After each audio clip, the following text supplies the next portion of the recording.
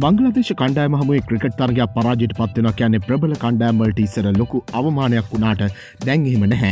බංගලදේශ මුලින් ඔස්ට්‍රලයා කණ්ඩෑම එක්දින තරගයකින් පරාජය කලාට පස්සේ ඊට පස්සේ දවස වෙනකම් මිනිස්සු පාරවල්ලට බැහලා ප්‍රීතිඝෝෂා කරපු කාලයක් ඉස්සර තිබුණා.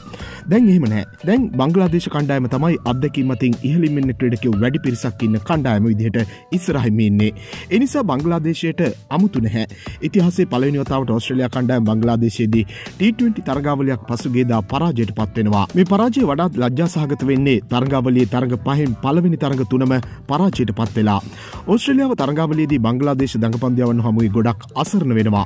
කොහොමනත් බංගලාදේශ ඔස්ට්‍රලියාව වගේ රටක්කාවම දෙන්නේ දඟ කැවෙන ලකුණු ගන්න අමාරු තනතිලේ. T20 තරග කියන්නේ ප්‍රතිකරුවන්ගේ තරග කිව්වත් බංගලාදේශය තමන්ගේ ශක්තිය වගේ ප්‍රතිවාදීන්ගේ දුර්වලතාවය බල්ල තමයි තනතිලි දෙන්නේ. ඒවගේම මේ පාර බංගලාදේශයට තවත් ලොකු ශක්තියක් තිබුණා. ඒ තමයි ලෝකේ වැඩිම ටෙස්ට් කඩු කඩු ලබාගත්ත වමත් පාදක පන්දයවන ක්‍රඩක රංගන හේරත් බංගලාදේශ කණ්ඩායම එක ඉන්න එක. රංගන ගැනත් ප්‍රතිවාදී ඔස්ට්‍රලියයා කණ්ඩායමේ ආස්ටන් ආග පරාජයෙන් පස්සේ කියලා තිබුණා ඇතනම උසින් අඩු දඟ පන්දයවන්න කියන්නේ හරි භයනකයි. මේ වගේ තනතිලිවල එයාලගේ පන්දුවෙන්නේ ගොඩක් පහලින් ඉතින් කඩුල්ල කෙලින් පන්දුව වැටනොත් ඒ පන්දුව කඩුල්ලේ වැදෙනවාම තමයි. බංගලාදේශ පන්දයවන්න මේ වාසිය මේ තරගාවලේදී ගත්තා එයාල ඒ විදිහට ගොඩක් කඩුළු ගත්තා. අනිත්තික යාලගේ පන්දුවේ වේගේ මුදාහරන අවස්ථායම ගොඩක් වෙනස් කර කර මේ තරගාවලිය පන්දයව යවනවා දැක්කා. ඉතින් මේ විදිහට දේවල් කරලා ගොඩක්ම සාර්ථකුණු දඟපන්දය වන්නෙක් තමයි රංගන හේරත් කියන්නේ.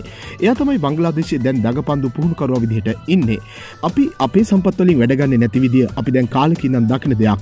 වාස් ආවට පස්සේ ලංකාවේ වේග පන්දය වන්නන්ගේ සිදුවුණු වෙනස රංගන ගිහින් බංගලාදේශයේ දඟපන්දය වන්නන්ගේ වෙලාද කියලා හිතෙනවා ආගර් කියපු කතාව ඇහුවනම්. මෙවැනි වීඩියෝ දිනපතා බලන්න අපත් සමග එකතු වන්න. ඔබ තවමත් අපේ channel එක subscribe කරලා නැත්නම් දැන්ම අපි subscribe කරන්නත් ක්‍රිකට් වලට කැමති ඔබේ යාළුවෙකුට බලන්න මේ වීඩියකෂයා කරන්නත් අමතක කරන්න එපා ක්‍රගට පිඩි නැවම්දේ සපරි තවත් අලුත් විඩියෝවකින් හමුවනතෙක් ක්‍රිකට් ලංකාවෙතින් ඔබට සුබදවසක්.